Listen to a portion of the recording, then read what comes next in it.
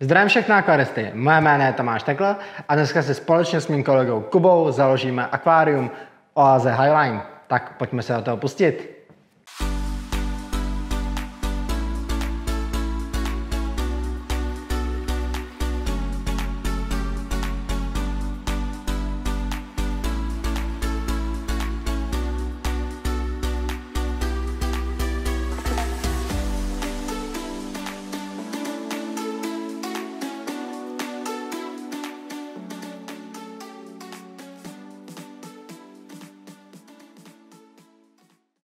Na úvod videa si pojďme říct pár technických detailů o tomto akváriu. Máme zde 200 litrové akvárium z řady Oaze Highline v antracitovém provedení.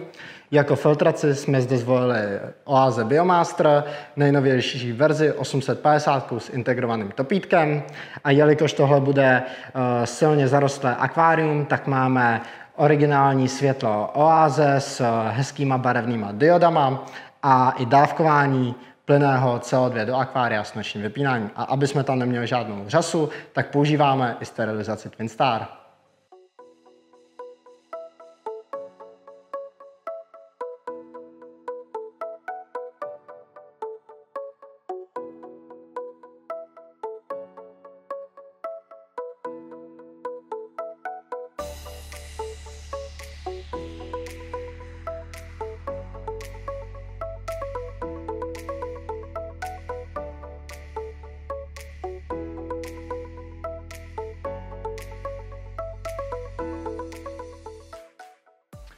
Do tohoto akvária jsme se rozhodli, že použijeme pouze červené rostlinky, jako kameny použijeme dragony, které jsme situovali do takového údolí. E, údolí nám povede cestička a celý tento hardscape jsme si sestavovali na našem stole ve Vysoké mítě, kam vy i můžete dorazit a svůj hardscape si na něm navrhnout.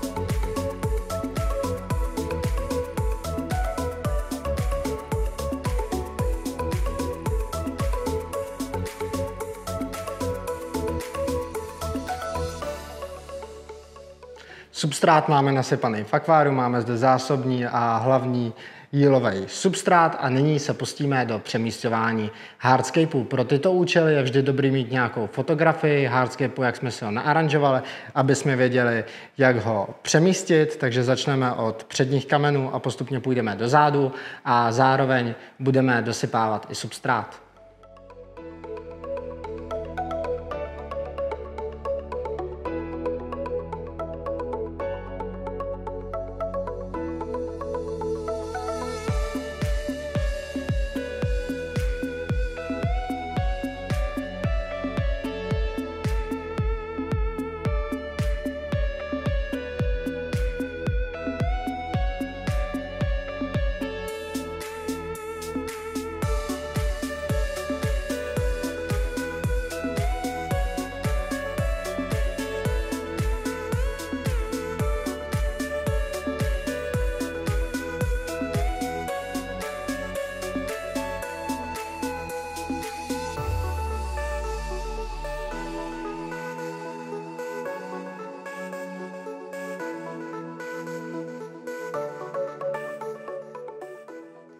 U tohoto údolí s Dragonstonem se snažíme, aby ty kameny trčely takhle hezky nahoru, nahoru a vytvářely mírné převisy, které pak budou zdůrazňovat tu cestičku a zároveň to tak působí i velmi atraktivně.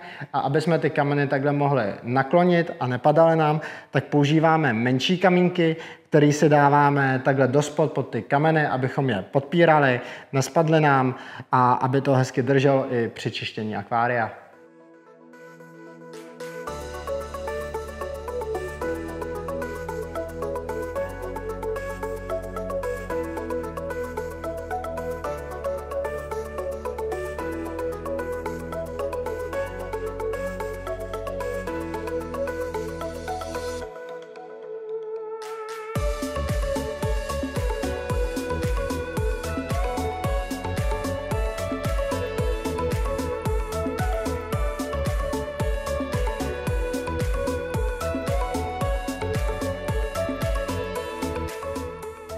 Nyní přichází čas na cestičku a abychom si oddělili substrát od písku, budeme volit eh, menší kameny dragonů, které si zastrkáme do mezer, čímž i zamezíme to, aby se nám substrát sesouval a míchal se nám s naším pískem.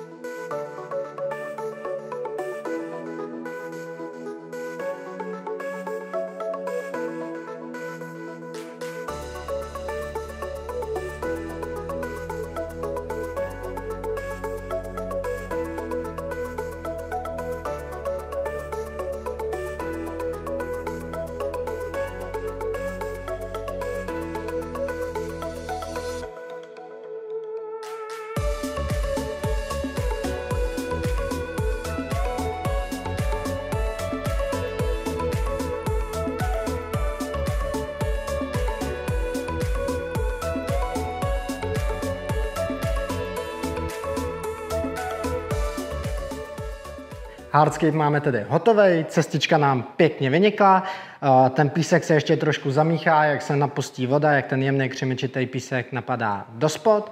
A nyní se pomalu pustíme do sázení, takže se substrát navlhčíme a budeme opět sázet od předu do zádu. A zvolili jsme rostlinky takovým způsobem, aby jsme i vyzdvihli tenhle koncept údolí, takže na obě strany budeme sázet stejné rostlinky a budeme sázet pouze červené rostlinky, což znamená, že když se budeme sázet alterantery, tak tady taky zasadíme alterantery a podobným způsobem budeme takhle pokračovat až do zádu.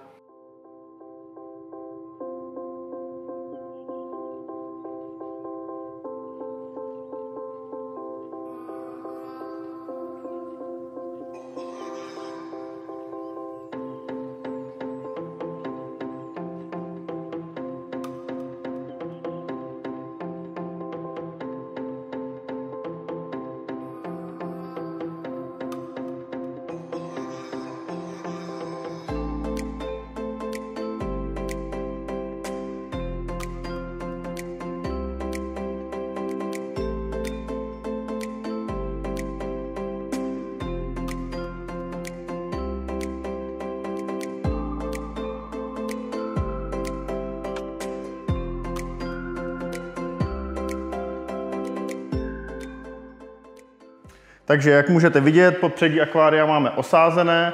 Nyní přechází řada na jednu z dominantních rostlin v akváriu, kterou bude lotus.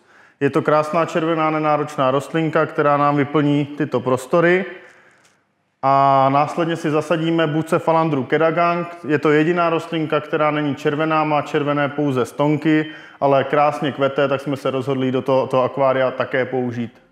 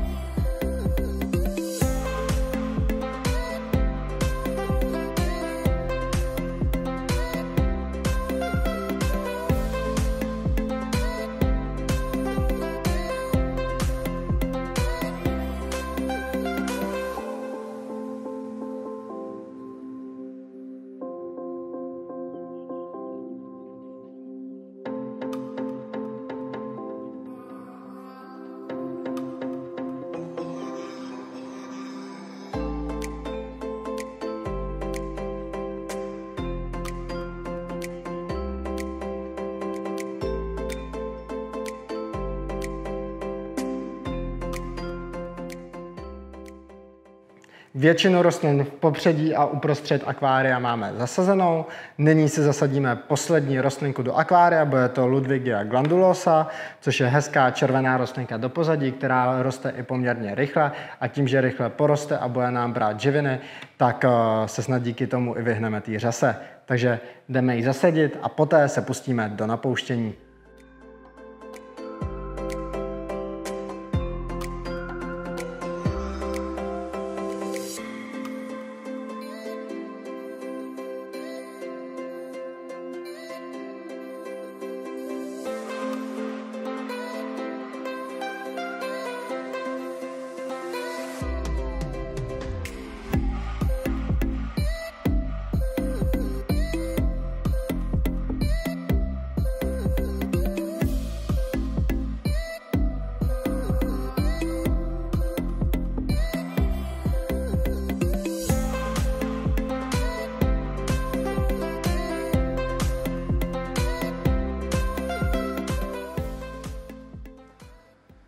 Akvárium máme založené, právě jsme uvedli do provozu techniku. Nyní si do akvária nalejeme startovací bakterie pro rychlejší zaběhnutí filtrace a kondicionér na úpravu vodovodní vody.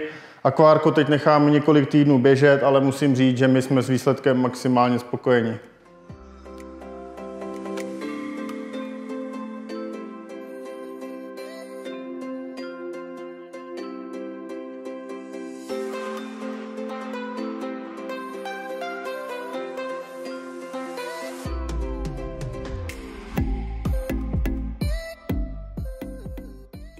Akvárium nám běží na showroomu už eh, přes měsíc, hezky nám prosperuje a je krásně čisté bez řasy, jednak díky sterilizaci Twinstar a kubový údržbě. Nyní se ale zaměříme na to, eh, abychom dostali rostlinky do perfektní kondice a do zdravého zbarvení, takže budeme rostliny častěji stříhat, řízkovat, sázet je zpátky. A zároveň lehce ubereme na dusičnanech a fosfátech eh, při hnojení akvária, aby jsme dostali rostlinky do sytějších červených barev.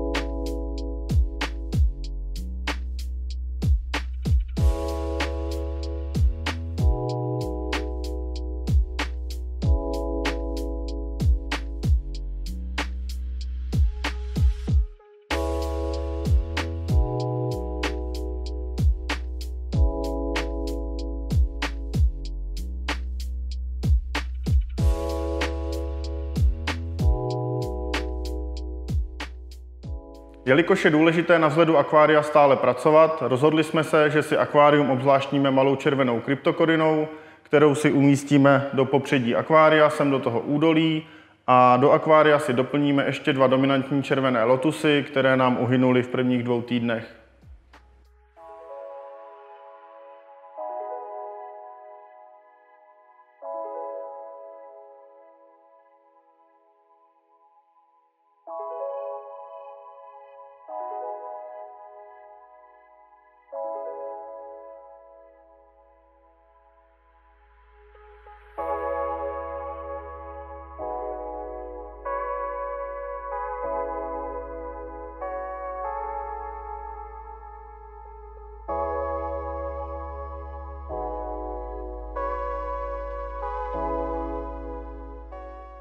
Nyní se pojďme pobavit o tom, jaké živočichy máme v tomto akváriu.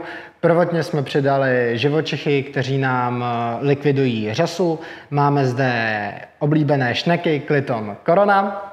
Eh, potom zde máme parmičky černopruhý, eh, ty nám ale ještě vyrostou a už pak na řase tolik hodovat nebudou. A ještě pro zpestření, aby nám na těch eh, červených rostlinkách hezky kontrastovaly, tak zde máme modré krevetky Blue Dream a aby té modré nebylo málo, tak si ještě přidáme neonky do akvária. Mám zde krásných 35 kousků, tak eh, šup s nimi dovnitř.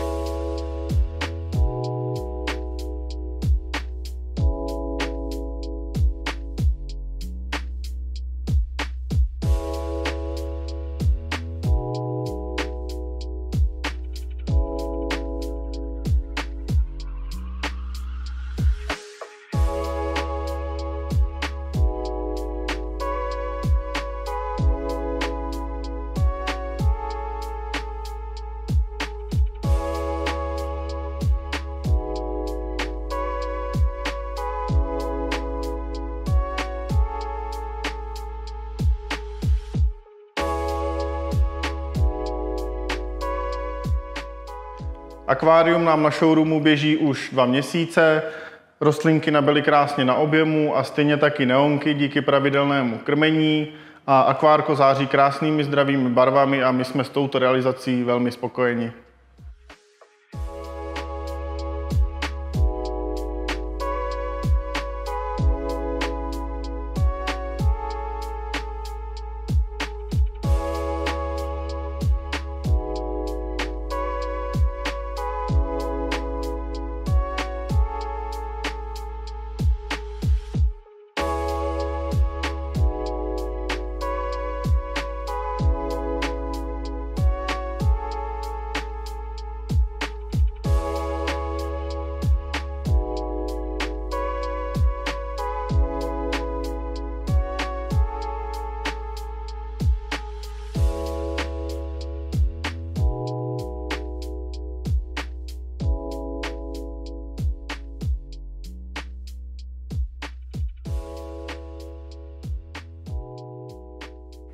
Já tedy Kubovi velmi děkuji za veškerou péči, co akvárium věnoval. Vypadá opravdu nádherně a já tedy doufám, že se akvárium líbí i vám. Pokud ano, tak budu rád, když nás podpoříte palcema nahoru. Jestli máte k akváriu jakékoliv dotazy, tak nám je můžete napsat do komentářů, rádi vám odpovíme. Po případě můžete najít hromadu odpovědí v našem eh, blogu a budeme rádi, když nás podpoříte odběrem, návštěvou našich prodejen, jak v Praze nebo ve Vysokém mítě či nákupem na našem e-shopu. Zatím se mějte hezky a zase brzy na viděnou.